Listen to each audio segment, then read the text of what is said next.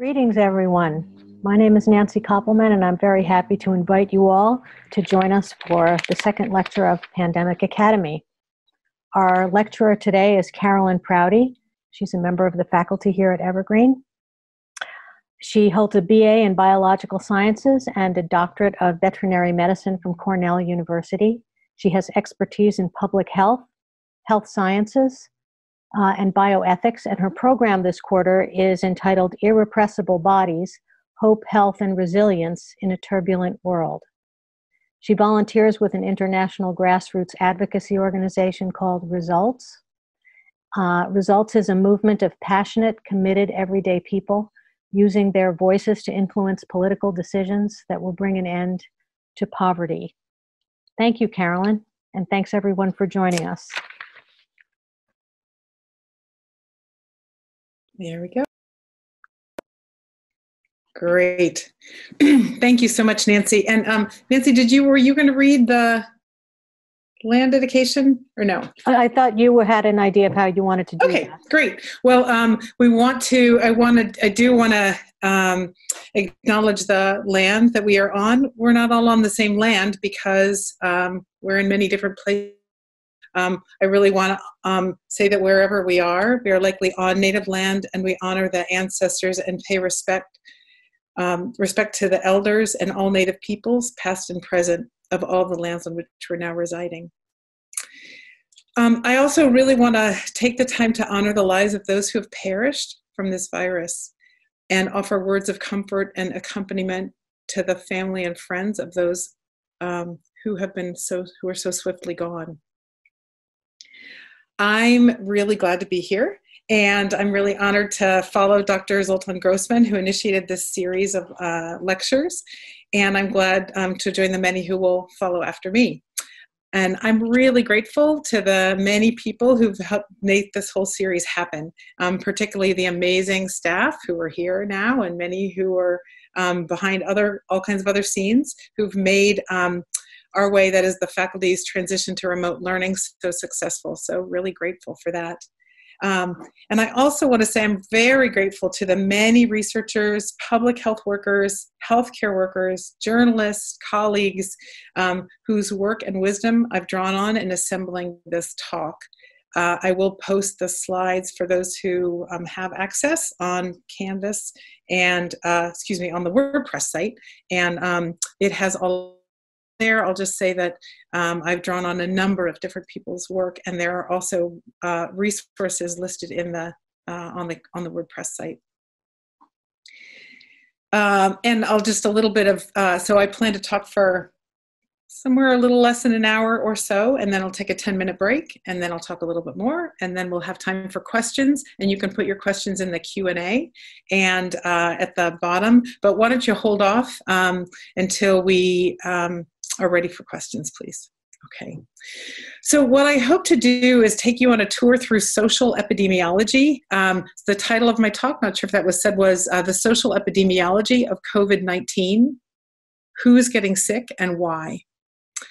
So, social epidemiology, what is that? Let's start with what is epidemiology. Um, so, that's the study of health in populations.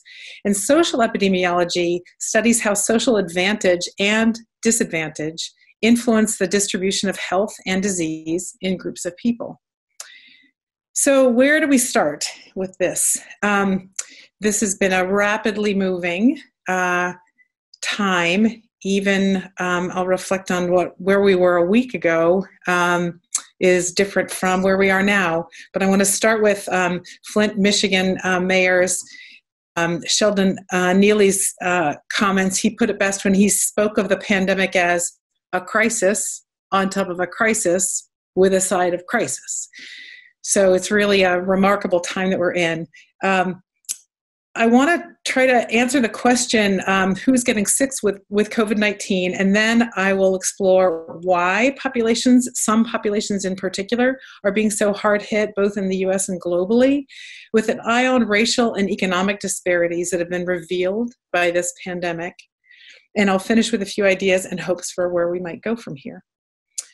So I'll say when I started planning this lecture a few weeks ago, I, like everyone else in public health, was waiting with dread for the news that we knew would come that the people who would get COVID 19 and be the most ill and be the most likely to die were and are the people who are already bearing a disproportionate burden of ill health even before the pandemic. Just one week ago, it was announced at the White House uh, that Black Americans and other people of color are dying at rates disproportionate to their representation in, um, in their communities. Some found this shocking, and I'm sure that many of you also did not. Um, I want to draw some lines from the past to the present and uh, to help explain this disproportionate disease.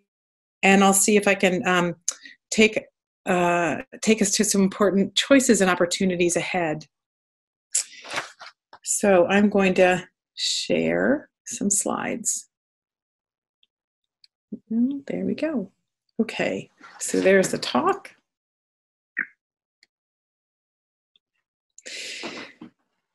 So, who is getting sick? More than a third um, of American adults are at higher risk of serious illness if they get infected with the coronavirus, according to the Kaiser Family Foundation um, and their analysis of CDC, of the Center for Disease Control data. So, for most of the people um, who are at most at risk, their age is what puts them in danger. The remaining um, are younger but have ongoing underlying health issues um, that you've been hearing, no doubt, you've been hearing quite a bit about. This is an amazing uh, website that I would recommend um, that you check out. It's a part of the CDC. And what they've done is create something called a social vulnerability index. And this is going to really help bring together some of the maps that Zoltan showed uh, last week um, with some of the material I'm going to be presenting. These databases and maps are used to prioritize sources, um, to plan evacuations and where ongoing support may be needed. It's a very interactive website um, and it gives a lot of detailed local information about your own community's social vulnerability if you're interested in, in it. Um, so, if you have been following the news, you also know that collecting data about social vulnerability and about who are the people who are most affected in this pandemic is something that's actually gotten quite a bit of attention, even congressional um, attention. And it's really critical that we do gather, gather um, important uh, and detailed data in order to um, know where to deploy resources, in order to um, uh, identify and contain the, the spread of the virus. Um, and it really helps us to target those who are most vulnerable. So, data, one um, metaphor that someone put was the data is like the um, it's like a police dashboard or, or dash cam recording what's going on an ongoing basis. So, we really need this information. This map um, shows the share of adults at higher risk of uh, serious disease um, who are younger than 65. And you can see that there's certain states where quarter of adults um, under 65 have some kind of um, something that puts them at risk. And you can see that they're concentrated in the South. And I'm going to come back to talk about what might be happening there in a couple of slides. This, um, this share of um, folks under 65 has a high, um, it shows people who have a higher risk of developing more serious disease. And it shows that it varies across the country from 49% in west virginia to 30% in utah. More than three quarters of the covid-19 patients who require icu treatment in the us had underlying health issues and have.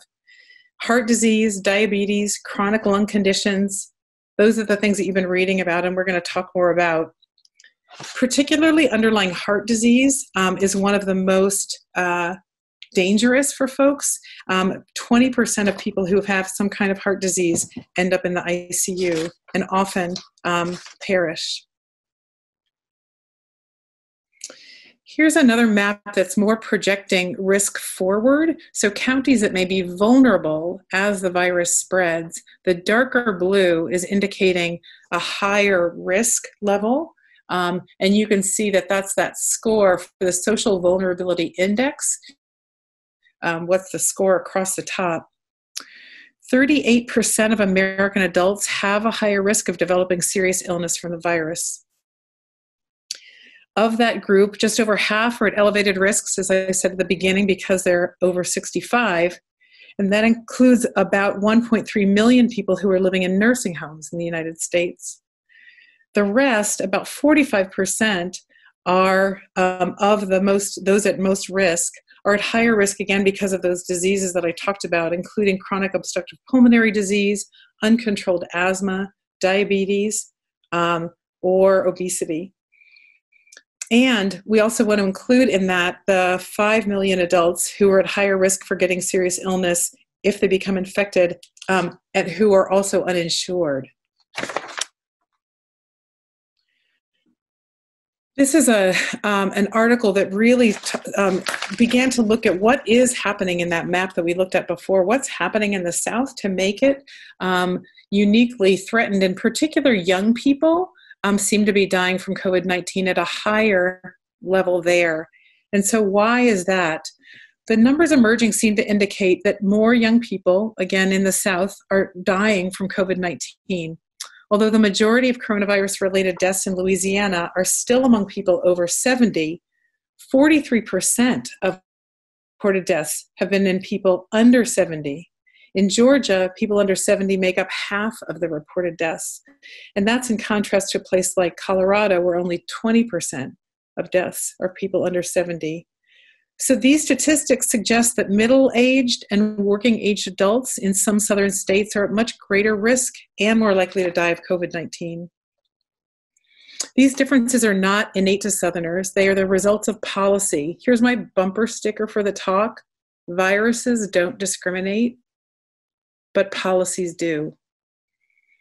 Health disparities tend to track both race and poverty, and the states in the old domain um, of Jim Crow have pursued policies that ensure that these, these disparities endure. This is what we're seeing. The South is the poorest region in the country. The poor, Black, Latino, or rural residents who make up large shares of Southern populations tend to lack access to high quality doctors and care.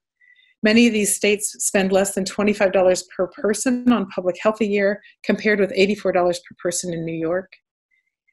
Nine of the 14 states that have refused to expand Medicaid to poor residents under the Affordable Care Act are in the South. Um, one of the things that uh, a future pandemic, pandemic academy talk will t- uh, spend time on is the extreme vulnerability of people in prison who are detained or incarcerated to the coronavirus. And the South incarcerates a larger proportion of its population than anywhere in the United States. So that might also explain part of what's going on. And finally, southern states have some of the lowest ratios of active physicians to patients in the country. And if healthcare providers are sickened, they will not be able to contend with waves of hospitalization that may happen. So now I want to turn to um, some uh, racial disparities. And this is something that, again, has been getting a lot of attention in the news particularly in the last week or so. And um, here's a, an um, article from the Washington Post and some dramatic graphs on the left of these, and I'll on the next slide go show you a little bit closer so you can see. But on the the left hand data point is the percent of uh, African Americans in the population, and the right um, higher. Uh, per, uh, data point is the percent of deaths in that same place. We can see that counties that are majority black have three times the rate of infections and almost six times the rate of deaths as counties where white residents are in the majority. So, as I mentioned at the beginning, this was what we were expecting, you know, folks in public health um, from the beginning, and it is, um, it's really disturbing that this is what we're that this is what we're seeing. Here's a close up on just a few examples of this. In Milwaukee County, where Wisconsin's biggest city is located, blacks account for about 70% of the dead, but just 26% of the population. The disparity is similar in Louisiana, where 70% of the people who have died were black, but make up just 32% of the state's population. In Illinois, um, a disparity nearly identical to Michigan exists at the state level, but the picture becomes far starker when looking at the data just from Chicago. where black residents have died at a rate six times that of white residents. Of the city's 118 reported deaths, nearly 70% were black. In that same article in the Washington Post, this is the US Surgeon General Jerome Adams. Um, he's 45, and he shared this. Uh, I've shared myself myself personally that I have high blood pressure, that I have heart disease, and spent a week in intensive care unit due to a heart condition, and that I actually have asthma, diabetic. And so I represent that legacy of growing up poor and black in America.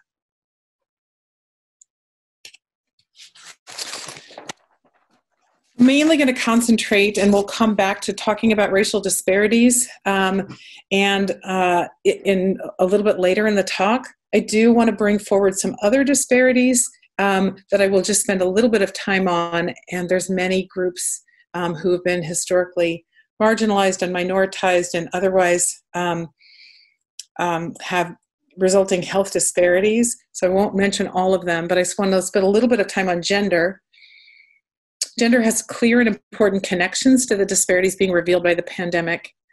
Women form about two thirds of the health workforce globally. In fact, more than 90% of healthcare workers in China's Hubei um, province are women, and women are overrepresented in healthcare in the United States as well. Women across the world already shoulder the burden of unpaid and low paid uh, and low paid care work, but caring responsibilities due to COVID 19 are falling even harder on women who are more likely to earn less, work part time, or be in more insecure work. This is another concern. Um, Confinement is expected to increase risks of um, intimate partner violence for displaced women and girls, while worsened socioeconomic situations will expose refugee women and girls in particular to increased risk of sexual exploitation by community members as well as humanitarian workers. That's what this is talking about. In parallel, access um, to uh, regular services is likely to be um, become challenging for, for survivors. Issues of reproductive rights, including abortion, prevention of gender based violence, domestic abuse, access to health care, and much more, have clear intersections with this pandemic. I also want to talk some about the experiences of um, folks who are um, have disabilities, and I want to read some of their words. Um, this uh, op-ed written by, oh, is it on there? Okay. Um, um, Elliot Kukla wrote in the New York Times, like many people all over the world, I am not leaving the house now. For me, though staying home is nothing new, I am in bed as I write this, propped up by my usual heap of cushions, talking to other sick and disabled people all day on my laptop about how the hell we're going to care for one another in the coming weeks, with a gnawing feeling of dread in my belly. Here's another piece. And this one by Karin Willison, who writes As someone at high risk due to my physical disability, cerebral palsy, I'm afraid of being infected, and I worry about my parents and other older relatives too. But there is something I fear more. I am terrified of dying from COVID 19, not because my death is inevitable, but because my life may not be viewed as worth saving. So I'm not going to talk. There's other, again, folks who are um, farm workers who are really being targeted. We will hear more about that in future talks. Um, refugees and their particular uh, vulnerabilities. Um, again, folks who are incarcerated and detained. So we will hear some more about them. But what I want to do now is transition to so that was a bit of the who, who's getting this and who's um, most at risk. I want to do a little bit of a back up and talk about um, why people get sick. And this is a sort of a 101 of, of public health. And what I want to talk about is the social determinants of health. So when we think about what determines our health, generally we think of most commonly the first things that come to mind for most people are what we eat, we get, uh, do we get exercise, what kinds of substances do we take into our body in terms of drugs or alcohol. So usually think of those. We might think about what kind of access to health care we have, things along those lines. Um, and we might also think about, of course, income and education. So here are the ones, a list of what people often think about when they think about what determines our health, and maybe roughly in the order that people, people think about them where we work, of course, education, our childhood experiences, what sort of social supports we have. We've certainly been hearing about that in the pandemic. But what I want to do, actually, let me back up here. Oh, no, didn't go. Okay.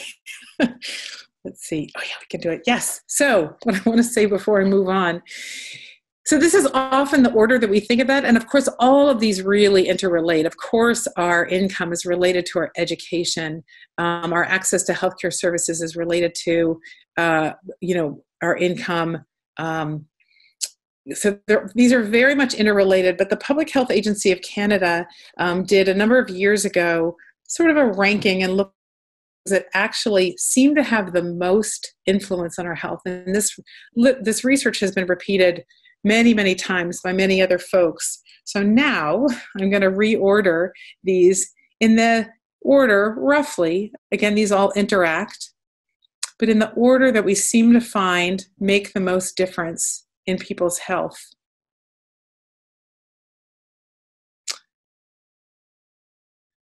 So the highest one for sure, uh, that which is the most has the most influence on our health, is our income and social status, what's sometimes called socioeconomic status or SES.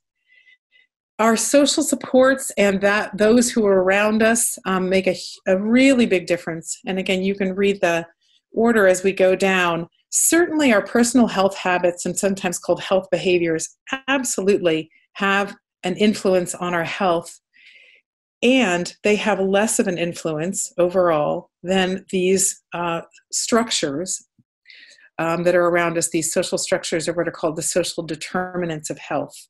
I'm going to add one in. This is the same in a little bit different order because when the Public Health Agency of Canada did this, they didn't include as its um, things like race and racism, gender and misogyny, and other systemic oppressions. And clearly, those have intersecting influences on all of these as well. So these are, this is the bread and butter of public health, the social determinants of health, sometimes defined as the circumstances in which people are born, grow up, work, age, and are ill, or in terms of health care. And if you noticed, actually, maybe I'll just go back for a sec. Health services, though I'm going to spend time talking about health services, um, and health care, health care actually has a relatively small influence on our overall health.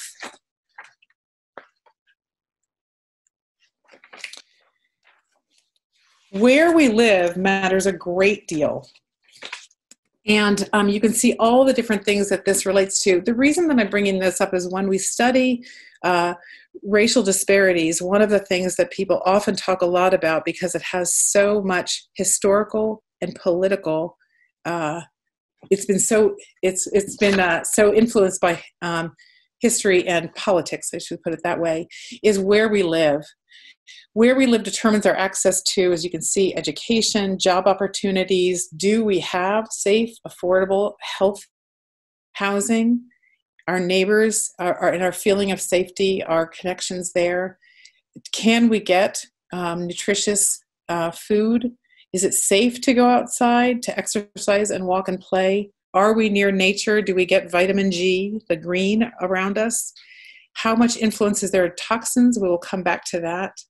Whether or not there's access to good um, quality care, we learned about that in the South and how that is actually harder to get in some places affordable, reliable public transportation and other public services, and of course, social cohesion and social capital, which we learned um, a good deal about from um, learning about community resilience from uh, Zoltan. So, all of these are both geographically um, and otherwise related, so um, quite a bit matters. And especially if we think about it, we're staying in place we're staying where we are and so all of these different things are um, even have become even more important in this pandemic so the social determinants of health um, help to explain really our access to resources. So I now want to connect these social determinants of health to talking about healthcare disparities. Disparities are um, differences that if there were if there were otherwise equity or equality that would not be so differences in the health populations by advantage and disadvantage getting back to that social epidemiology question so, disparities in social determinants are caused by unequal access to resources. And these kinds of resources tend to be the most influential in what actually matters. So, making that translation from the social determinants of health to people's actual health. Do we have knowledge and education? In this case, you can certainly see with, with a, virus, do people ha- know how to protect themselves and the importance of it and what that means? money. We're going to come back to that. Power, social capital, different kinds of privilege or discrimination, and particularly the important ability to control our circumstances and react positively to change. What is our ability to be resilient as individuals and um, we heard about as a community?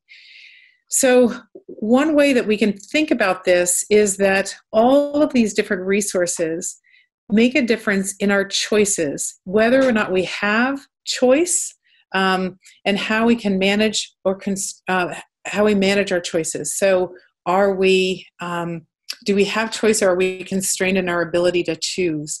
And choosing, the reason why I use that um, um, care is because often people are blamed for making quote unquote bad choices.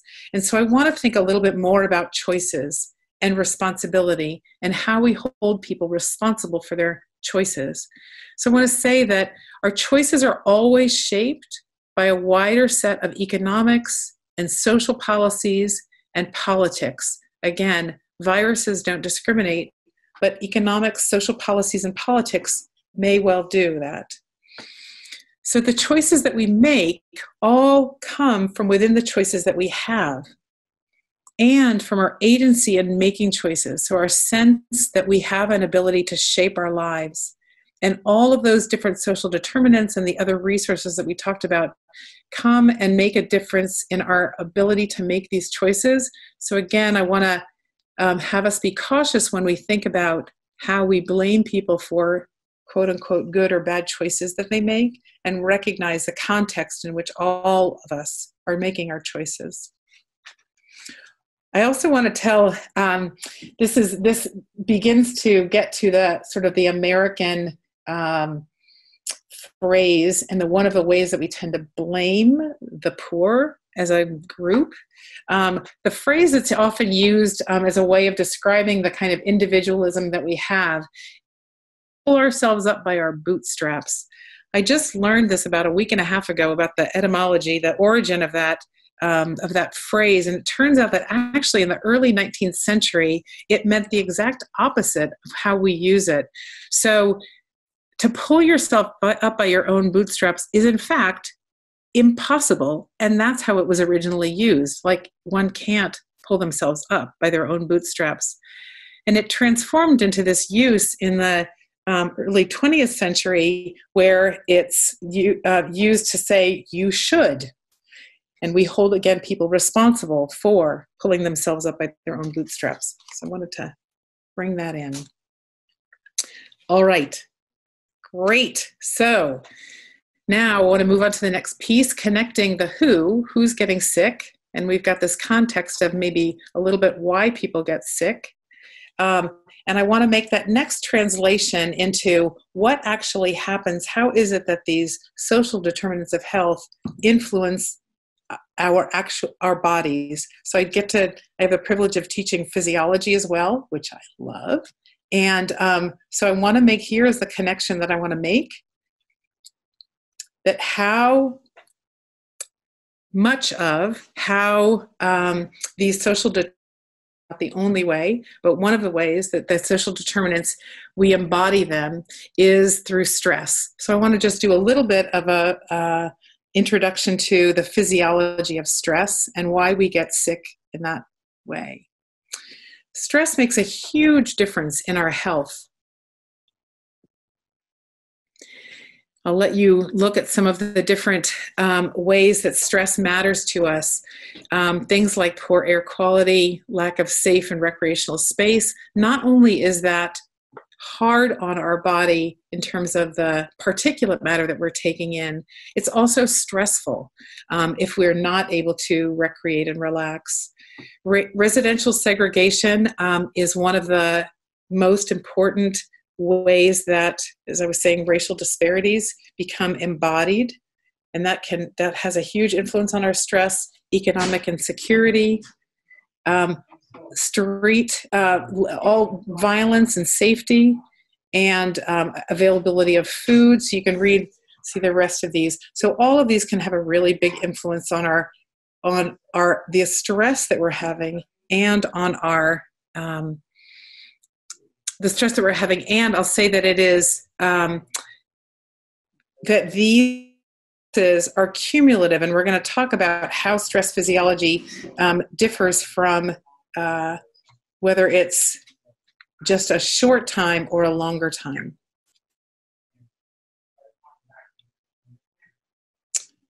So, the physiology of stress.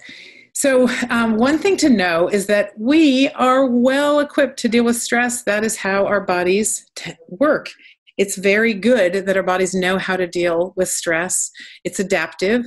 And one way that we think about that physiology is that it's these nerves and chemical reactions that are meant to help us ensure our physical survival. So, what's happened, and the reason why stress is now getting to be bad, hard for us, is that um, our bodies haven't kept up with the transition to having ongoing stress. So, stress used to evolutionarily in our bodies be something that was very short term, and then we would be able to return back to not stressing, but um, having, but this ongoing stress is, um, and even being able to just think about something and get stressed, not just have that is um, something that we have as an ongoing presence in our in our lives. This is very familiar to us right now.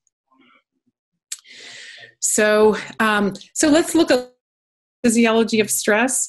Um, stress responses involve three basic systems: our nervous system, our hormones or endocrine system, and also our immune system. We often think a lot about the immune system. Maybe you've probably heard about that relationship between our immune system and our uh, and stress um, but it also certainly is mediated by our nervous system and our hormones.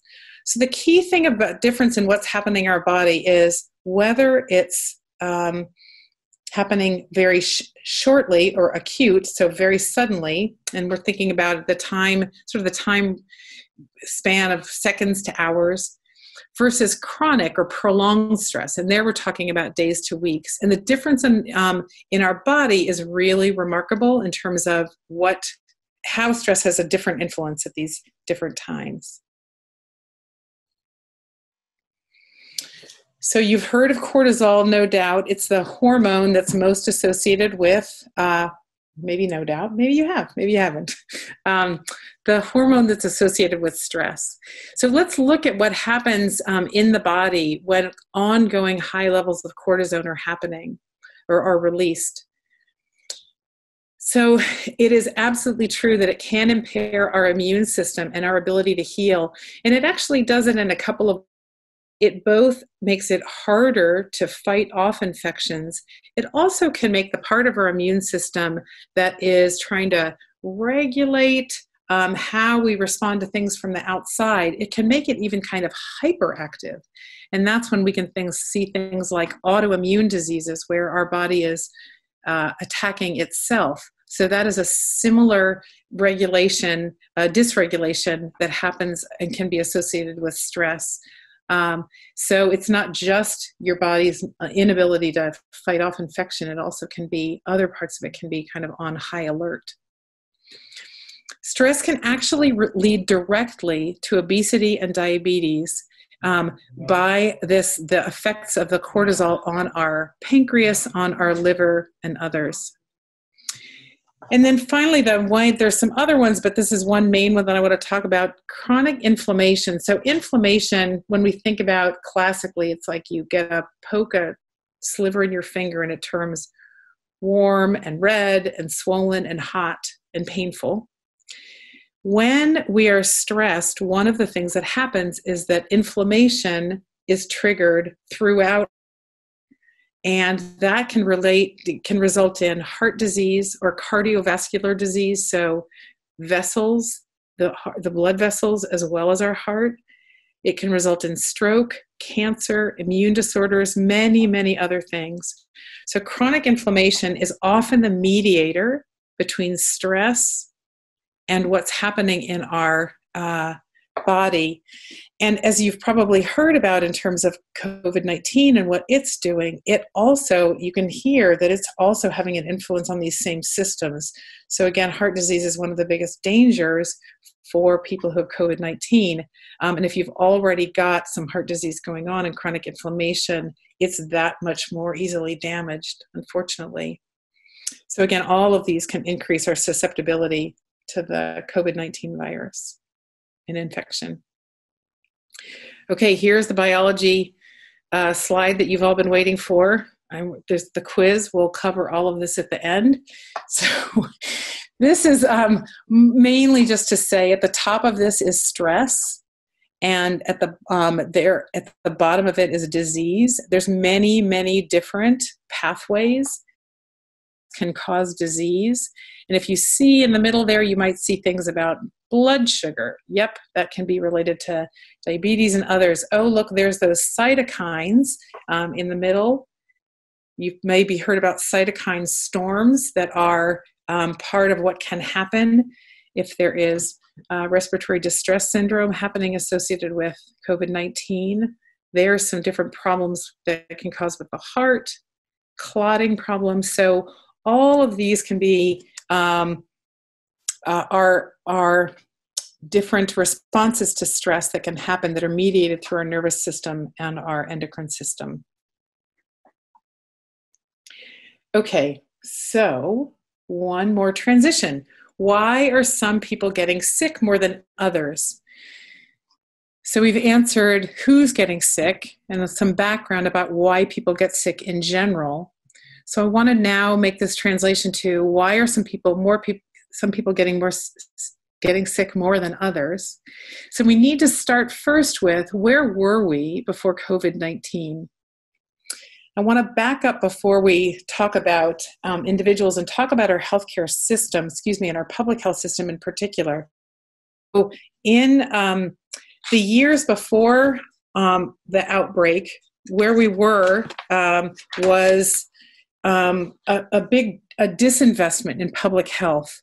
Um, between 2008 and 2017, state and local health departments lost more than 55,000 jobs, one fifth of the workplace of the workforce, which is a major factor as um, cities are struggling to respond to COVID-19. One public health official said the problem with providing more money now, only and only at times of emergency, is it doesn't allow time to recruit and train new workers, just as with other parts of healthcare. That's also true for public health. He said, We waited until the house was on fire before we started interviewing firefighters. In 2008, the Association of Schools and Programs in Public Health um, warned that by 2020, oh, that would be now, um, that we would be um, facing a, a shortage of 250,000 public health workers. And indeed, that's, that's just where we are. Public health, um, in particular, lost jobs, is a lot of restructuring happened in our economy, including around education. Um, around the recession in 2008, so there was a big cutback then, and many of those jobs were never replaced. were we before this crisis? In general, um, I want to talk about some of the economic stresses that have been um, uh, that were in place even before um, the pandemic. So the chart on the left here shows um, that half of the households with incomes below the poverty level are not confident that they could handle a $400 expense. This is before the pandemic. And um, so you can see, of course, there's been considerably more than that now. So we're talking about, so the, this is why, you know, the um, dramatic uh, programs that are you know trying to be put into place to try to help with this. Um, on the right is a um, a chart from the Joint Center for Housing Studies at Harvard University, and it shows that from even again before the pandemic, people of color were more likely to come under um, the threat of eviction. Of course, the legacy of structural racism and policies um, over the last not just the last few decades but the last few centuries has really is really where this is showing up. And where housing costs continue to go up and wages up half of the renter households of color are cost burdened. Cost burdens means paying more than 30% of income on rent or mortgage and having difficulty paying um, for monthly household expenses and this is even true for a third of homeowners um, uh, black homeowners or households of color, excuse me, um, are also cost burdened. So a third of them are also um, paying more than 30% of their income on mortgage. So it's why the kinds of um, legislation that are being put forward, like eviction or trying to be put forward, eviction moratoriums, helping pay for rent and mortgage, are such major goals politically right now. We need to also talk about, in terms of racial disparities, um, to really begin with the racial income gap, and then I'll talk about the racial wealth gap. So you can see here the representation of um, median household income and race. So for every dollar um, in income uh, for um, white families, you can see um, that which is for Hispanic, um, American Indian, Amer- and Alaskan Native families. $1 to 72 cents, 62 cents, or 59 cents.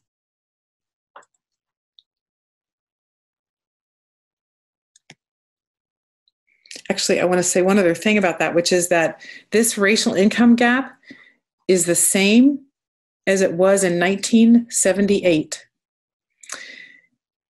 that was the year that the war on poverty peaked and the, some of the reductions went down but from that time it has not improved. It's still true.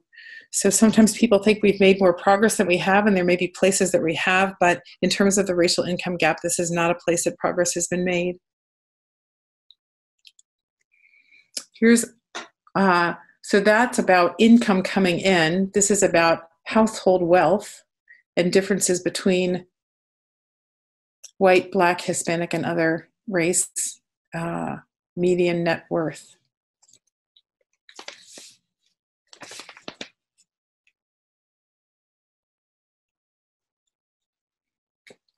And uh, another representation of that for every dollar of wealth that whites have, blacks have 10 cents, Latinos have 12 cents, and other races have 38 cents. So, what this means, let's bring it back to thinking about where we started with the social determinants of health and what was the most important determinant of health was income and socioeconomic status. So, let's talk a little bit more about um, some of these racial disparities. This is an article that came out relatively recently showing, um, showing indeed that African Americans have contracted um, and died of coronavirus at an alarming rate. Dr. Camara Jones is a um, physician, a family physician, and um, an epidemiologist, and a past president of the American Public Health Association, and one of my heroes.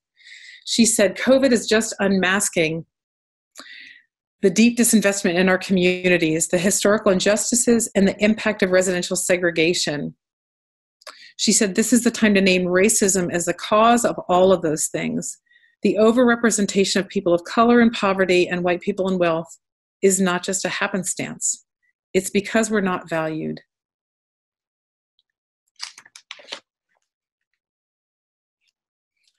I want to look a little bit at some of the how these health disparities show up, again, making that translation of income and other social determinants of health, how they track in this case, particularly with race. So this has a fair amount going on. So I'll say the first thing to pay attention to is that heart disease. So this is looking at racial and ethnic disparities in heart disease. This is a leading cause of death in the United States. In fact, it's the leading cause of death in the world. Um, and it differs by race, race and ethnicity. And if you can see, so across the bottom is different years, and um, deaths per 100,000 people um, are what's going up the, along the side. So the higher is higher rates of death. So for everyone between 1999 and 2017, the rates of death by heart disease did go down, but still, um, Black, not Hispanic folks are more than twice as likely to die of heart disease as some other groups.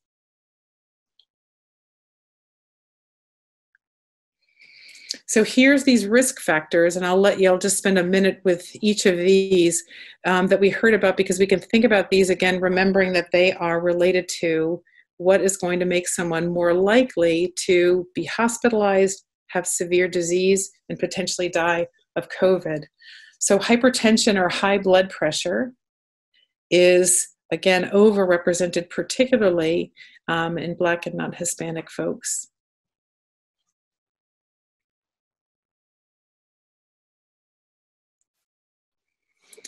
Diabetes also different um, distributions.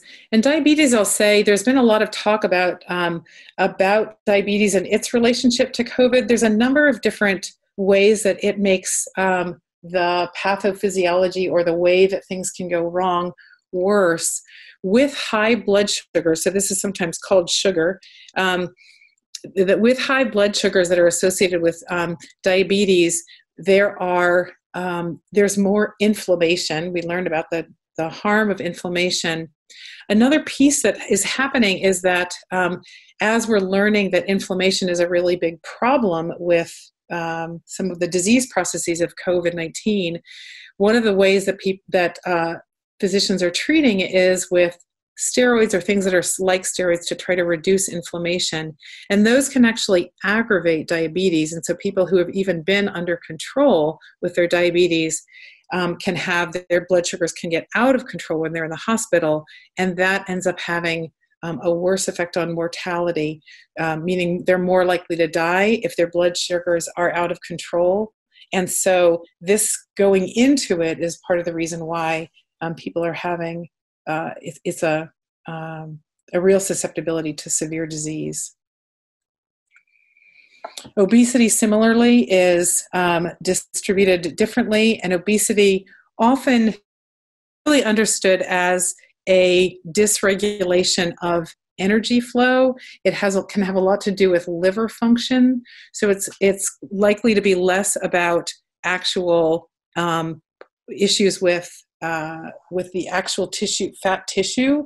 But it turns what we're learning more and more is that fat tissue is very endocrinologically or hormonally active, and it's likely related to that that it's causing some of the problems that it is with uh, um, with COVID nineteen and and some of the other things that are associated with uh, with obesity. So putting these together, um, this this is looking at some more health disparities. Particularly, this is for African Americans and whites. And what this is saying is, not only is there higher uh, prevalence of high blood pressure, but there is also it's also happening at a younger age. And maybe this reminds us a little bit of what's happening maybe in some places in the South and elsewhere. Um, why younger people might be more likely to be uh, getting sick and dying of COVID 19. So, an earlier onset of high blood pressure and an earlier onset also of diabetes for versus whites.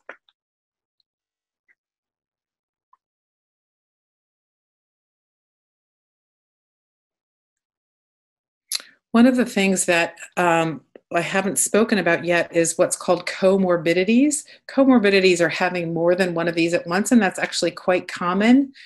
Um, Van Jones, who some of you may know, who's a, an, an, activist, said, You know, we need to talk to people about comorbidities. They're really important, but nobody's going to understand comorbidities.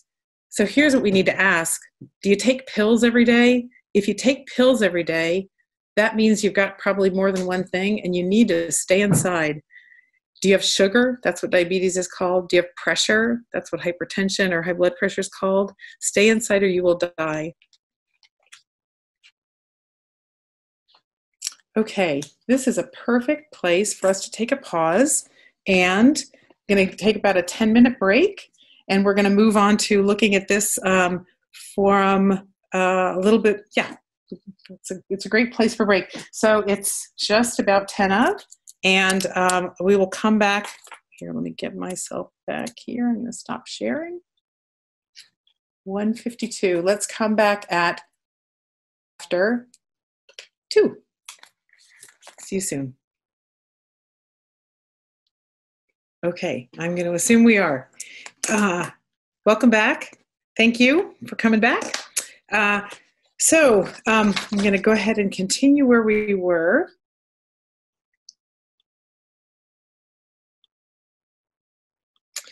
And continue to talk um, some about uh, what's happening um, around some of the, in particular, the um, racial health disparities and what's behind them. And of course, they're tightly tied with economic disparities. What I want to do is go through um, some of the information that my guess is that you've already heard, but put categories, and then go into perhaps some of the connections between economic disparities, um, folks of color, excuse me, economic disparities, health disparities, um, health care disparities, and racism, and sort of put all of those to, um, together. So I want to start with um, economic disparities that put uh, people of color at risk. And um, disproportionately. So we know that folks of color are disproportionately incarcerated and detained, um, that they are more likely to be houseless, renters, at risk for eviction, living with others and sharing space with many, which of course is really relevant now in terms of um, likelihood of exposure to the virus more likely to work in lower wage jobs in food service, in restaurants, in entertainment, and other service industries. More likely to be essential workers. Um, during a recent Amazon strike, one black woman asked, How can we have essential workers when our lives are not essential? More likely to uh, lack paid sick leave. So, all of these um, can put people at greater risk. And again, I think that you've likely heard about a lot of them, and we can talk more about these in questions if you'd like. So that's economic disparities. I want to think healthcare disparities that put people of color at risk. So again, we talked about some of the comorbidities that are more common in folks of color, asthma, high blood pressure, cardiovascular disease, diabetes, obesity, other lung diseases also um, discrimination in healthcare. I'm going to talk more about that. Differences in access and differences in quality of uh, the healthcare that's available, leading to differences in treatment and testing. In fact, there was a um, um, study. I'm just going to look for my notes here. Um, the biotech data firm Rubix Life Sciences, based in Boston, reviewed recent billing information in several states and found that an African American with symptoms like cough and fever was less likely to be given one of the scarce coronavirus tests. So we see that. I'm going to talk more about bias in just a minute. Certainly, disparities disparities in diagnosis and treatment is long known in uh, the healthcare field. And um, there's a report that was put out by the Institute of Medicine in 2003 called Unequal Treatment that asked, How are you treated when care? Again, we talked that that's not the same as health. Um, that's by the time you've gotten to health care. And this is not about access. Um, this is for folks who are already there. How are you treated when you're there? And unfortunately, from 2003 to now, there's been um, a remarkable lack of progress in um, improvement in diagnosis and treatment and other aspects of healthcare for folks of color. And I'll give some examples. And again, uh, I think I talked about earlier, so challenges in access, few and poor quality services, lack of insurance, and distance from home, having to spend lots of time getting there. So all of these again increase our likelihood, the likelihood of exposure to the virus. And again, these may be familiar to you. And it's important to talk about racism directly. Um, race, as we know, is not biological.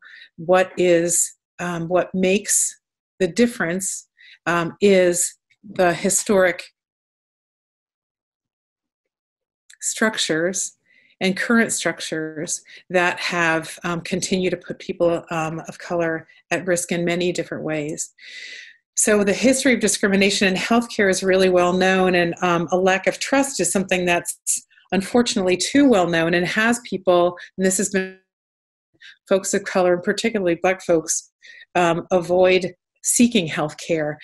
The word Tuskegee and the Tuskegee experiments that were done years ago, the Tuskegee syphilis experiments, um, now is in some ways used to signal the idea of institutional racism as much as to bring in the memory of that, uh, that particular study and that example of racism current discrimination in healthcare um, happens in virtually every disease. It's been well documented in many, many different diseases, and I will um, give an example about pain relief in a minute, but there's many others.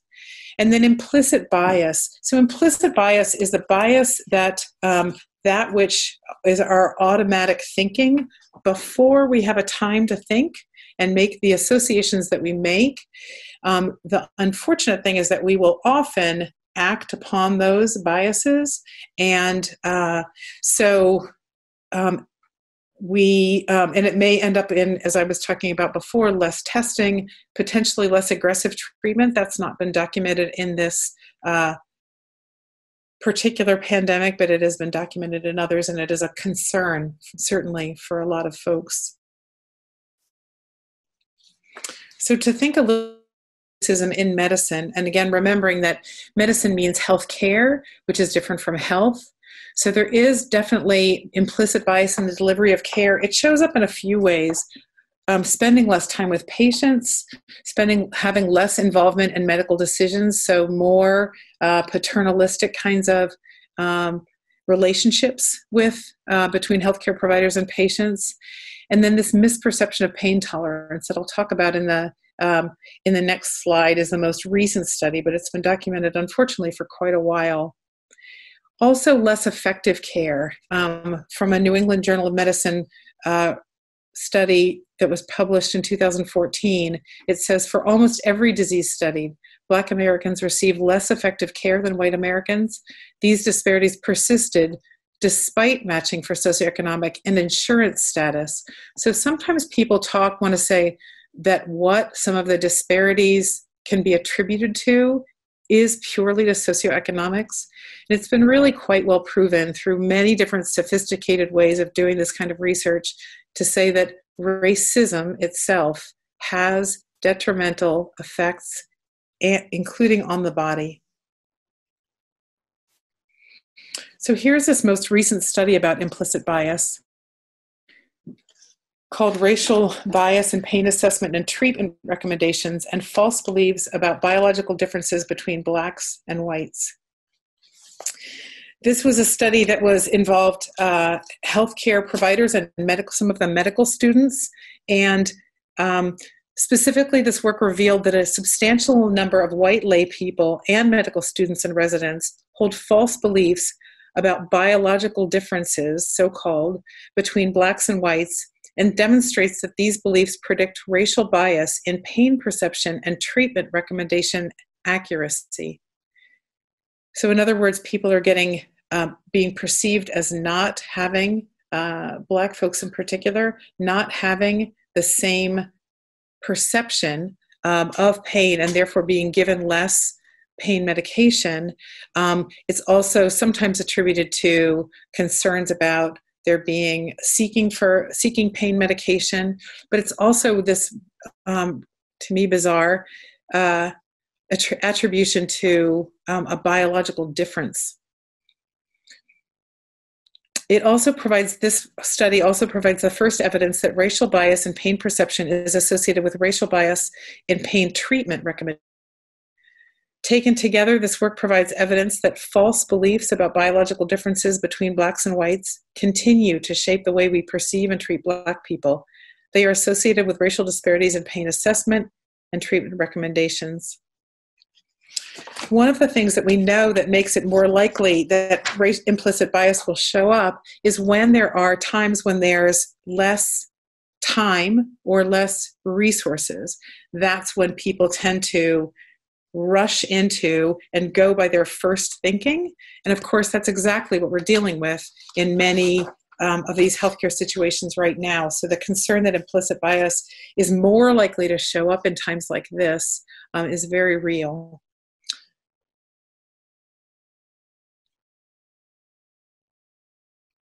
So, two other pieces um, that I wanted to bring forward um, in ways that people have been talking about some of these disparities. This is an article from the um, Brookings Institute. Black Americans were forced into social distancing long before the coronavirus. And I want to read some of Andre Perry's words to us. He says For decades, Black people and Native Americans have been subject to a different kind of social distancing segregation, discrimination, and devaluation. Far from a cure, this form of social distancing created a social disease that has made many of us sick, literally. According to a 2019 study, residential segregation, as I was speaking about before, makes Black communities more susceptible to hospital closings. Another study published in 2014 found that an increase in the concentration of Black people in a neighborhood is associated with a corresponding decrease in the availability of surgical equipment. Meanwhile, social isolation through policy discrimination has extracted significant wealth from Black families. This article talks about how the racial wealth gap is making these households far more susceptible to the pandemic because of this.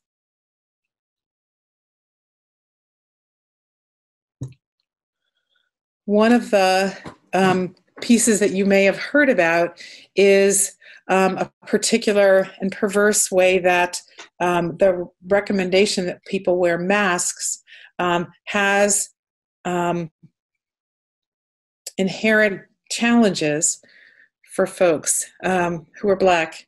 This article, I'm a black man in America, entering a shop with a face mask might get me killed. I trust the CDC's guidance, but my fear of being mistaken for an armed robber is greater than my fear of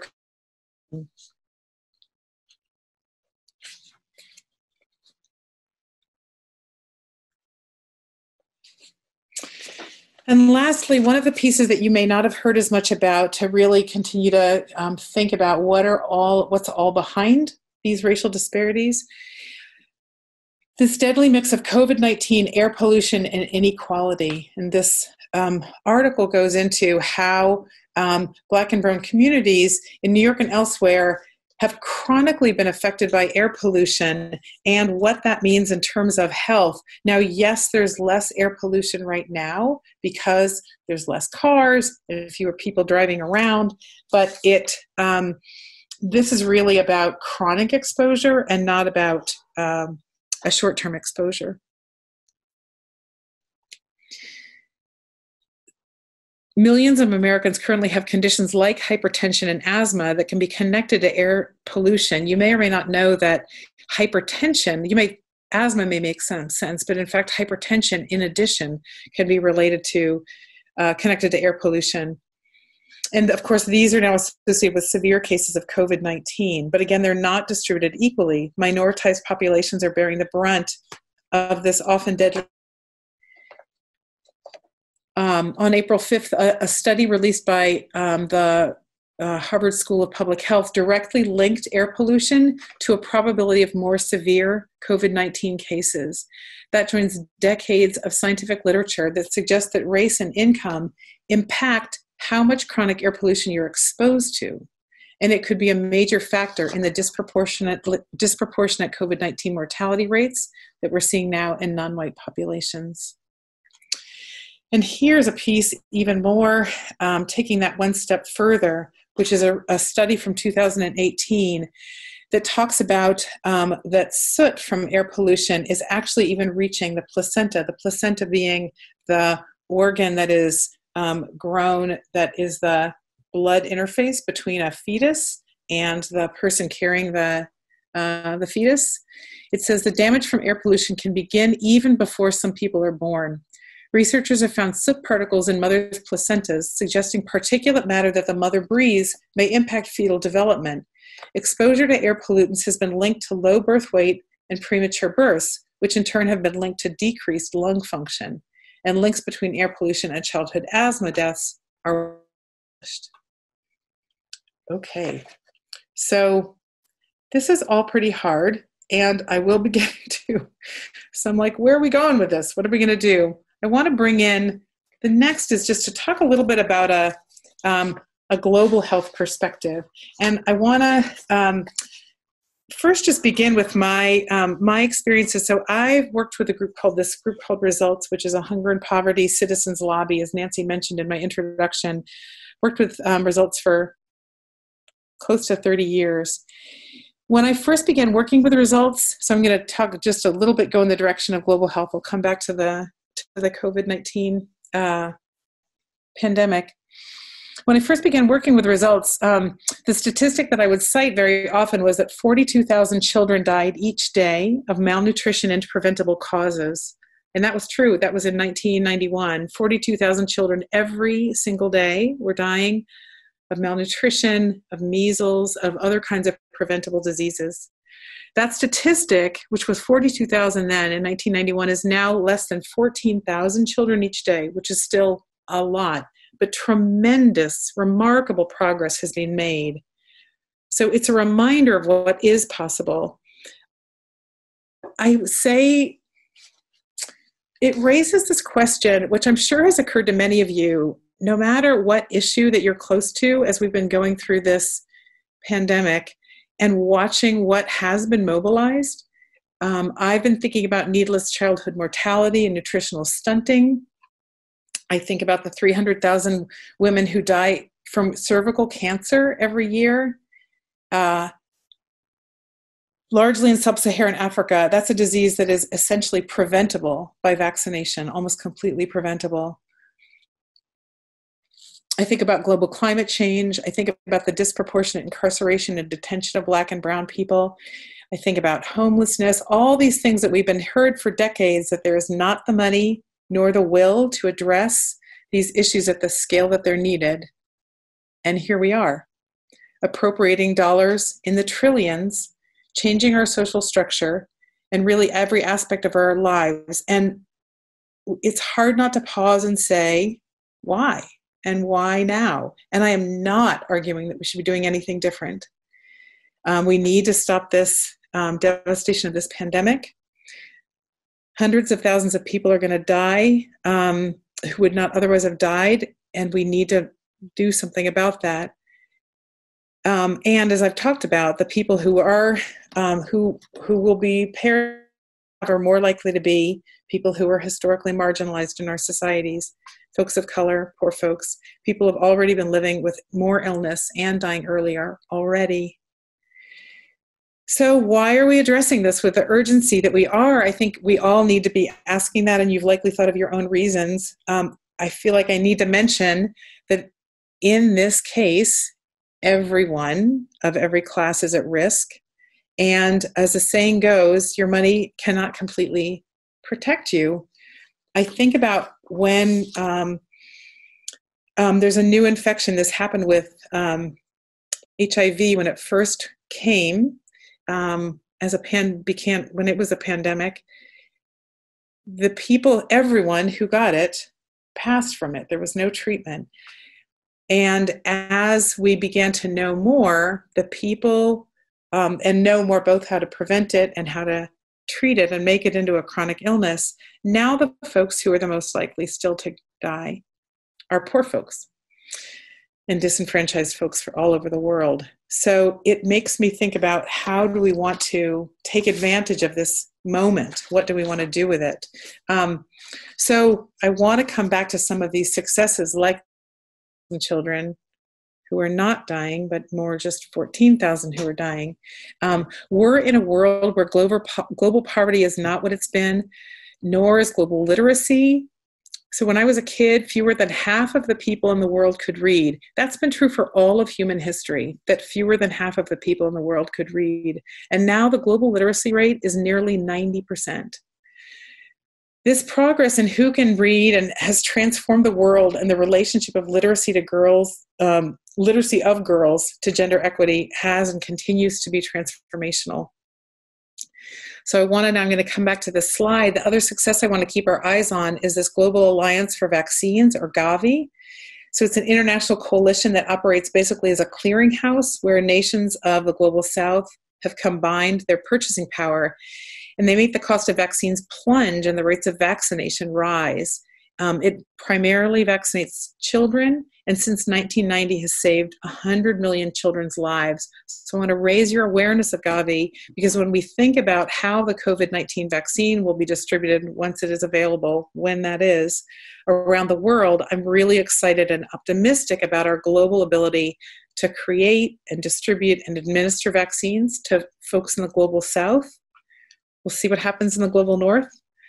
And Gavi will be an important mechanism to get those vaccines to the poorest communities in the world. So we do need to come back to what's happening with um, the difference between um, the in the U.S. Uh, actually, before I do that, I'm going to just show you one more thing about the global situation. So um, this is what is happening in the world right now in terms of school closures. More than 90% of school children are not in school all over the world right now.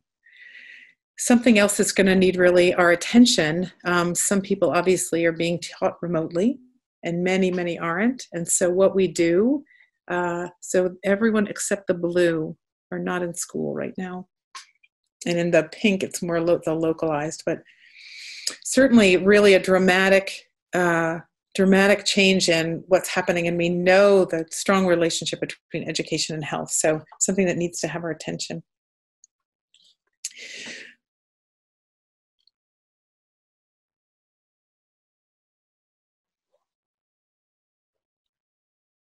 So I think part of what I'm excited about, let's see, I'm going to do this next part. Um, some things looking forward. Oh, we're so perfect on timing. Um, looking forward, what are some of the ways that we're going to be able to um, move ourselves um, with this? I want to, um, in results, we work a lot on uh, the elimination of tuberculosis.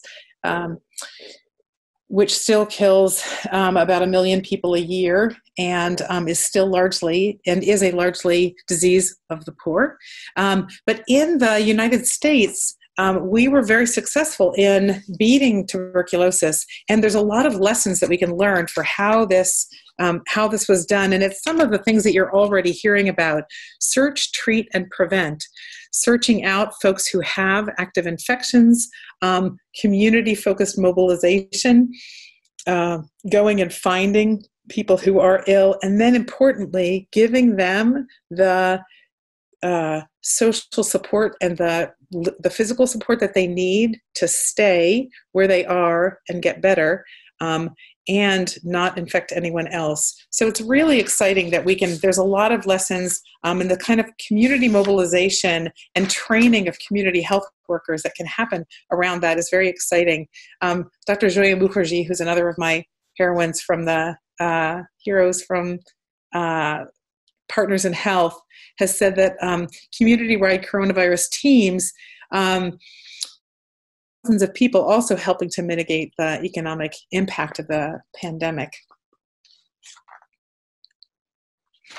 There are a number of exciting um, places that people are moving forward, communities of opportunity um, in King County. Um, this is a they're um, giving monies away for from a community response fund to um, see what wants to come from the community to make a difference. This is a very inspiring article, I think that uh, Zoltan may have mentioned, um, by Rebecca Zolnut. Solnit. some really great things that are happening in a lot of communities. Um, all of the mutual aid, many of the things that Zoltan mentioned in terms of uh, mutual aid and community resilience and organizing together. Here's some folks uh, putting together and giving out packets in their neighborhoods.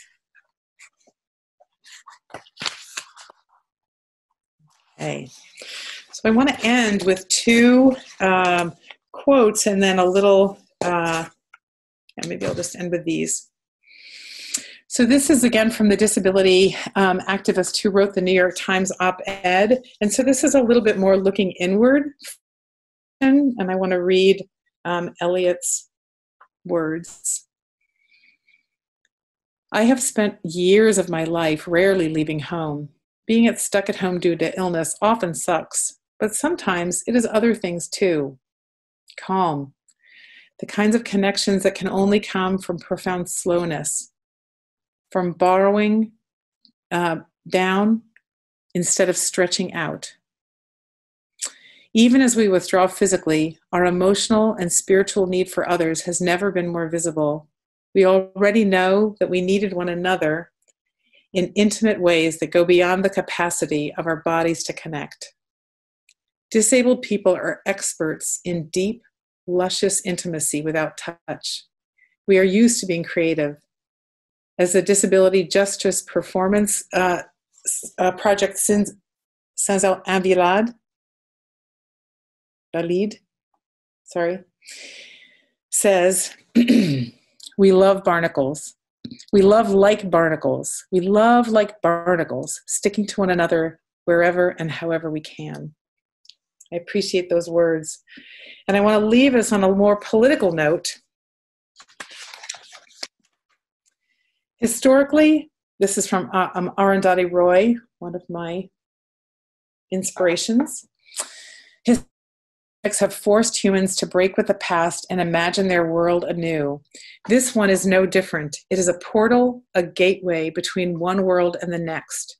We can choose to walk through it, dragging the carcasses of our prejudice and hate, our avarice, our data banks and dead ideas, our dead rivers and smoky skies behind us.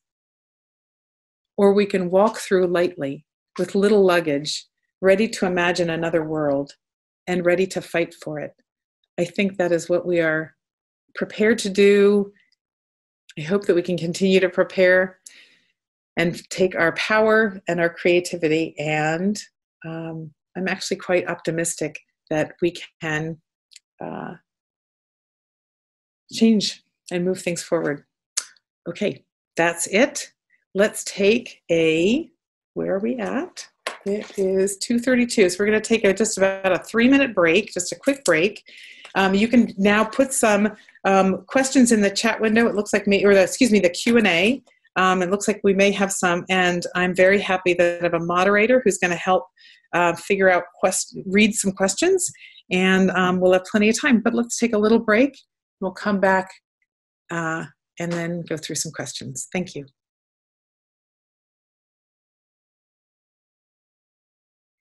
Okay, so welcome back. So I think I'll listen for questions and then um, do my best to answer. There's looks like there's still room for more questions as folks have them. So if you want to type them into the Q and A, uh, you are welcome. Okay, please go ahead. Okay, great. The first question Would this global pandemic be considered a form of trauma for some question for some people, whether or not they were able-bodied and minded before the pandemic? Well, I think that we may well all know the answer to that. Absolutely. No question. Um, and I think one of the concerns, so as I talked about stress and that part of what happens is when we're under a chronic stress um, that this qualifies right we're going to be we've been doing this for a while so you asked about trauma i think i think of trauma as a um, I, I think I'm thinking of it in the, you know, in terms of um, stress, that's how I'm translating it. And no question that it is. One of the things that um, is a um, worth knowing about how we deal with trauma and how we do well i know stress more than i know trauma. I think of um, that maybe a little bit more broadly, and including psychology. I'm not a psychologist.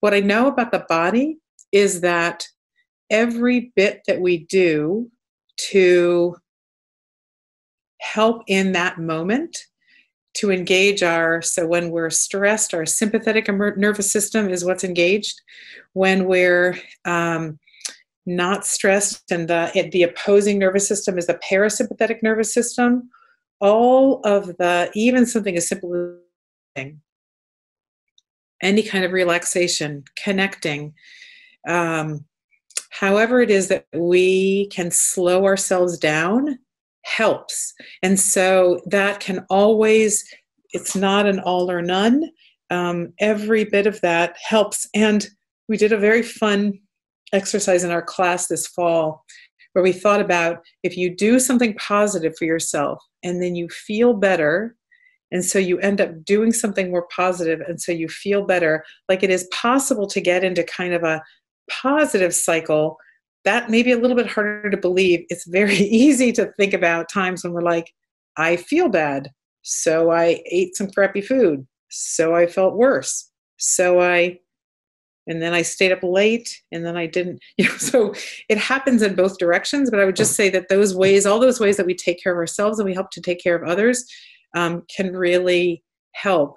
Um, I um, didn't, I can, I, the other thing that I would say is that many of the, and in fact, most of the long term effects on the body that happen associated with stress are all re- are reversible um, so, inflammation, there's actually, if you know anything about biology and homeostasis and how we have all these things that keep our blood sugar and other all kinds of other things in the right level of not too much oh too much let's bring it down too low. So inflammation it turns out is in that same way. And we have regulatory systems that try to de uh, that uh, that are we have anti-inflammatory systems within our bodies. And our parasympathetic nervous system. So if it's getting too technical, but all of our rest and relaxation, that system can help to calm and heal our bodies and our minds, our mind bodies. So I hope that's helpful. Okay, thanks. And I think this can this is a, a just an add-on question to what you, you just said. Um, does long-term experience with stress influence the data we're seeing regarding age? And do children tend to be more resilient against stress than adults? Okay. Can you read the first part again? Because I'm not sure. positive that I, yeah, thanks. Sure. Does long term experience with stress influence the data we're seeing regarding age? And the way I'm interpreting that is, is that why people who are older maybe are more vulnerable? Oh, I see. Yeah, actually, that's great. Okay. So, age, the, the relationship of age to um, to stress and then to resilience. So um, I understand it. No, I mean certainly chronic stress. If you're older, it is possible that you will have had a lot of chronic stress, and it is also there. But there, I think the things that are associated with dangers, the dangers associated with um, age and the virus, have more to do with our um, of course they're all interrelated but more have to do with our healing system. So all kinds of there are all kinds of changes that happen with time. Our connective tissue is not as strong. Um, that allows when something starts to get inflamed our lungs the little alveoli little sacs in our lungs are more likely to collapse our blood vessels unfortunately over time probably have more damage in them. So, yes, that can be related to stress, but even age unto, unto itself, um, even with someone who's lived a relatively stress free life, those kinds of things associated with aging are going to happen without stress. And you could say that there's a way that stress, chronic stress, can be a, you know, accelerate that certainly. Um, but they are they are to some degree different physiologic um, are kids more resilient to stress? I mean, I am not a lifespan development expert. That's my understanding. Certainly, the ability to um, heal and um, that happens physically and we're, since we're mind bodies that would certainly also be true you know of kids um, i think kids also have much all that whole ability to be with the present and not wish that we were somewhere else which is part of where that self-induced stress comes from i think that's for at least younger kids that may be part of what makes it them more resilient but i'm not an expert in any of that so that's just my thoughts Okay, this one is a, on a completely different part of what you're talking about. Um, okay.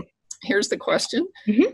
What are some of the perspectives, debates, or tensions you're seeing in the public health community about when and how to return to normal, if there is such a thing?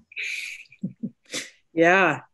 Um, I well, I think probably they're ones that you've heard about in the news. I would say that, you know, real concern so the concern about um, if we don't have herd immunity, if we don't have um, the, uh, if nothing changed in terms of all of our susceptibility and we start to socialize more, the likelihood that there will be a resurgence, I think that's certainly one of the things that's talked about.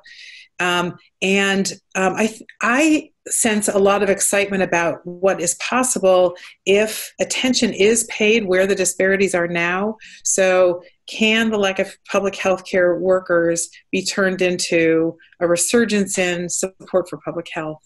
Can um, this revealing of what we've already known in terms of health disparities be a place where actual attention to addressing the disparities can happen? Um, so, can this be the leverage that we're looking for? So, that's more of a longer term rather than the sort of opening back up. Um, I um, I will say that on the list serves that I'm on, I feel like a lot of there is a great deal of desire to have um, quality data. Maybe it's just the epidemiologists who like love their data so that they can make sense and see where things are going and then use that to help shape. And i certainly think that the whole country has had a lesson in happens when we don't know so our lack of testing um, yeah so i'm not sure that i've heard anything that you wouldn't necessarily have heard out and around yeah great um, once again another, another aspect of this okay Of the statistics, I think. Uh-huh. What action translated into the reduced death rate reported? The reduced death rate reported.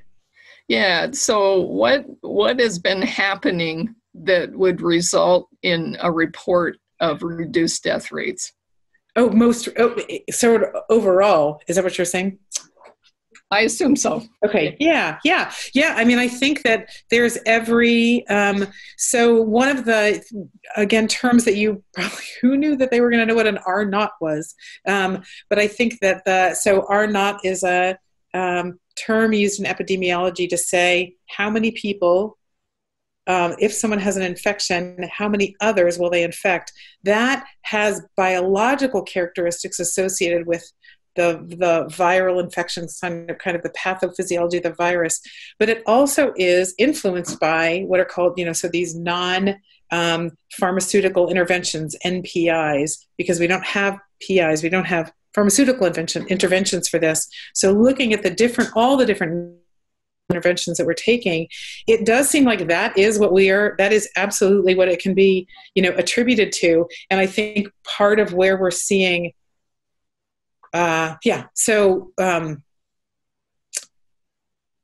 you know that as far as I understand it, that's exactly why why we're having where we're having success. That is exactly why is for just all the reasons that we know. That's how we can if we can have it. You know, the ideal is we get it to that an R naught of less than one. Each one person in, um, infects less than one person, person who has it, so that it can um, die out or at least be in you know considerably smaller um, yeah okay i'm gonna um somebody just typed in a, a, comment, and that is thanks for this amazing presentation. Um, the next question, though, is how do we use this knowledge? In other words, how do we use what you've been oh. telling us to help those who are hit the hardest? Thank you for asking that. And I, I, I got so I, uh, I thank you for asking. I wish I'd spent a little more on it. Now's my chance where I think that we want to um, go, and what I'm understanding from my colleagues who are really concerned about this, is we should um, have those who be most prioritized in every way in testing, in healthcare, in support, in um, and in prevention. So we know who the vulnerable communities are, and what does it mean to get to um, the communities where health literacy may be considerably less, um, where and certainly where you know options of not being able to stay home. So you know, um, paid sick leave, better you know all of the financial. Um, support that we're doing so we know what people need to be able to stay um, healthy and prevent this. And so prior so so what can we do? I mean one of the things certainly that we can do is um, become involved locally and try to do our best to make sure that communities around us who we know are most vulnerable are getting the services that they need. Um, i'm a political animal. I also would say that there's um, really are some amazing things that are happening in congress that we can have an influence on. The fourth bill is being shaped right now. It's likely to have money for um, food stamps or snap but who's going to get it and how big the increase is going to be is still being debated. There's a um, a move to try to get $100 billion in emergency rent. Uh, and we know the precarity of housing and how important that is for getting people back um, into, for keeping people safe, being um, to stay to stay away from others, to stay sheltered. So um, I think it's always uh, my experience that people don't know the power that we have. We don't know the power that we have politically. Um, and uh, just, we were just, I actually was in a meeting with um, Representative Derek Kilmer and my colleagues from Results on Friday. He was reading us the number of communications that he was getting on each issue every single one of those was recorded and he had that right in front of him. If you don't think that those don't make a difference cumulatively but you know that when you contact them they're thinking that you're probably representing depending on the office you know anywhere from um, a few hundred to several hundred people because you were the one who took the initiative to do it. Um, and even more coming up with you know developing relationships with our elected officials. Um, it can make a tremendous difference and so there actually are there are things going on. I mean, who knew that we would have universal basic income voted through? like remarkable things are happening, and um, so I think we can continue to have an influence there. Thanks.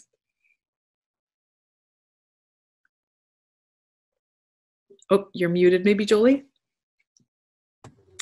This is a question about um, sources, Carolyn, and you may have already answered it, but sure. um, you may want to say yeah. whether your your slides will be available. Are we worried about the degree of accuracy of any of the data we're receiving, and have you questioned the accuracy of any of the data you've shared today?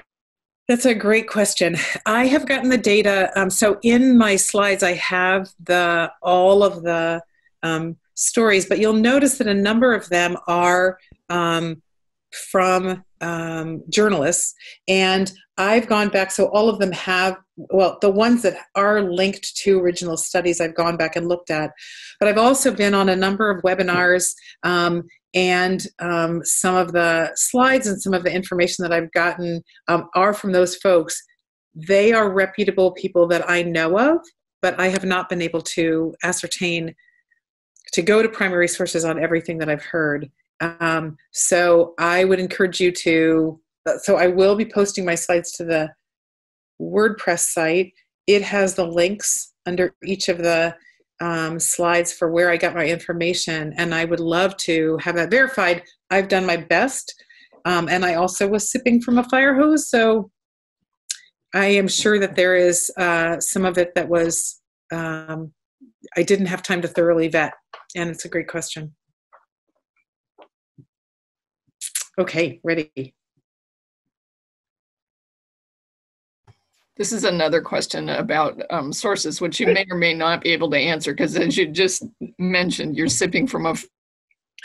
Um, so, are you aware of any formal structural strategies for producing and representing um, data so that it can effectively represent intersectional oppression?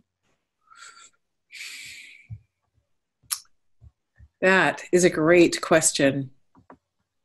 I um sorry, let me sorry, I heard intersection. Can you read the question again? I just want to make sure that I answer what was asked. Sure. Um, are you aware of any formal structural strategies for producing and representing data so that it can more effectively represent intersectional oppression? Yeah, great question. I would say um, I am aware of some of the um, organizations that I've been following their data um, are increasingly trying to look through the intersectional lenses. Part of what is is the lack of data, and I mentioned that at the beginning a bit. Um, it's why um, I think people are so. Um, I think we're looking at some are more individual identities. So we're look there's some that's looking at race, and there's some looking at gender and how are as an example um, of intersectional.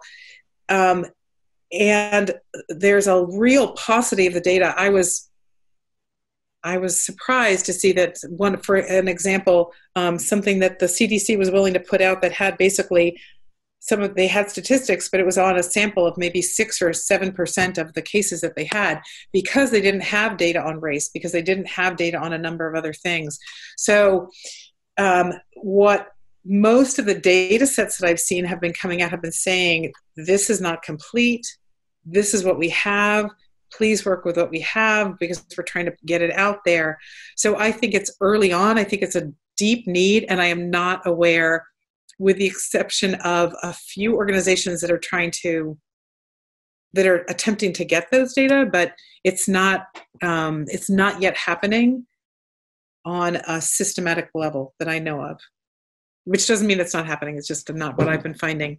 Um, there's a, I will just say if people are interested fabulous a lot of where i've got my information is a great listserv social justice public health listserv called spirit of 1848 and um, I didn't put my, um, I'm happy to answer emails and direct people to how to join that. Um, and it's a very busy listserv right now, and it has a lot of great information. That's where I've gotten a lot of my information from. Thanks. Okay, what are some of the non-medical interventions? I think you I think you talked about this briefly before, and the rest of the question is: um, Is it only about isolation and distancing, or are there other non-medical interventions? Um, I mean, I think that the ones that we've heard of in terms of, you know, both personal care, you know, washing hands and, you know, things along those lines. Um, the, I mean, those really are the, um, I mean, I, I didn't go into a lot of this, and it may be that our speaker next week will go into it more. I'm, I'm, I was thinking that it might be sort of more known about so what masks do is prevent our, us from infecting others for the most part, unless we have ones that are protective for us. Um, the N95s, we're not likely to be protected by them. Um, medical. So I don't know that I have anything except sort of the standard pieces that are out there, and I don't have all of those at the, off the top of my head. Um, I mean, I guess the other thing that I would say, maybe to reflect back on what I was talking about earlier, is that what um, our bodies do with good sleep, good nutrition, um, good mental health, because we're mind bodies, um, you know, all of that to the extent that we can really is a great protection. I mean, so that we are likely to, to the extent that we can, if we were to become infected, um, to be able to respond have our immune system respond as it should and um, or as it hopefully will and uh, effectively and those things even in the short run um, can they can make a difference definitely Okay, I noticed that um, you're a doctor of veterinary medicine. Do you know in what ways the pandemic may be affecting animals? Um, yeah, thanks. I the one thing that I've heard is well, a few things that I'd say. Everybody's the pets are liking it. That's what I understand because everybody I know our dog and our cat are very happy um, because we're there more. Um, I think you mean maybe more physiologically. So I have a um, there there is a cats can um, be infected with the SARS virus. Most viruses are very species specific, and um, but the protein that helps to um, enter or the and the receptor um, on cat cells and human cells seem to be relatively similar. Um, and so it does seem that cats can potentially get infected. Other species no, um, from what I understand. And I don't know how widespread that is. The last report that I heard said that cats couldn't, it wasn't going to go, it didn't go the other way. You could infect your cat, but your cat couldn't infect you. But it's all very new and early. Um, that's the, those are the main things that I know. I guess the thing that I didn't there's a lot that I didn't get to. It's well worth mentioning as a veterinarian. I want to talk just for a minute about One Health. What's the concept of One Health? And that's just the concern and the recognition. And actually, in my article, the articles that I resources that I put, there's an article about this.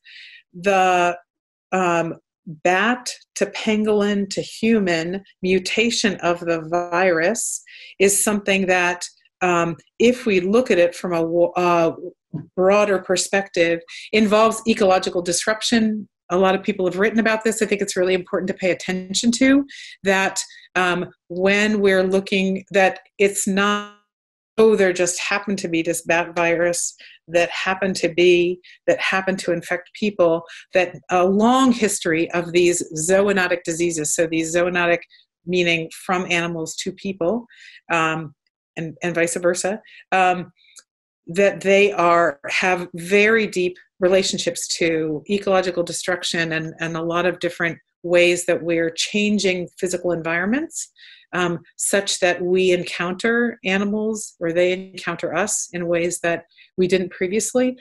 So it's just an important piece to bring into the discussion of that. And the term one health is about recognizing that we're we need to be concerned about that that animal health and human health are very much related. So thank you for the question. We are running out of time. There, mm-hmm. there are two more questions. I hope we can we can get in if if if possible. Sure. Um, and the first one I think is probably a short answer. Do you know if benign, in quotes, do you know if benign heart conditions such as premature atrial contractions have also been risk factors for COVID 19? Mm, this is definitely where I'm going to take the I treat four leggeds, not two leggeds. Yeah. it's a great question. And uh, yeah, I wouldn't, uh, I wouldn't, I wouldn't. do you have, do you have a sense of a source this, um, the asker might consult? Uh, maybe their own primary caregiver. Definitely, that's what I would think because I mean APCs, so immature atrial premature contractions, can be common from a number of different um, underlying conditions, and that would probably be the more important thing. So, yeah, I would think definitely consulting with a clinician would be the way to go. Yeah. Okay, can you define herd immunity and how we know it's emerged or developed? Yeah, it's a great question. Okay, so herd immunity is the idea that um, once there are enough people, cattle, whoever, anyway, in a group, um, once there's enough um, individuals who have immunity to the virus, any virus, then if someone is infected, it can't really, like, they keep encountering people who are immune and so they can't really infect very many people. And what that level is um, varies from virus to virus. So wildly contagious. And so how what percent of people and most of the time herd immunity refers means a good at least 80% and usually 90 and sometimes closer to 95% of individuals need to have immunity enough that um, any one individual who's got the virus can interact, but it just isn't going to go anywhere. It just doesn't have enough, there aren't enough people that you would encounter to give it to where it can keep spreading. So we're nowhere near that with this new virus. That's the big concern about it um, because it usually, for most viruses, it's at the lowest, usually mid 80s. And for some viruses, depending on their contagiousness, it needs to be even closer to 95 um, or more percent. With measles, it's you know it's around in there. So um, so I hope that that answers the question. So the most likely way that we're going to get herd immunity is through a vaccine or if enough of us over a very long time are, are become exposed. But right now, most of us are not getting exposed, which is great and safer, and also means that we still could be uh, become infected at some point. So that's the complex, the complexity of the situation that we're in right now.